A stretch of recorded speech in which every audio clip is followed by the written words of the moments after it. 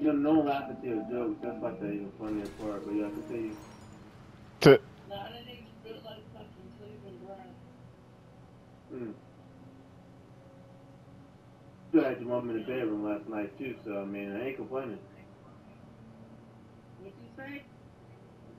I still had your mom in the bedroom, so I still ain't complaining. Oh.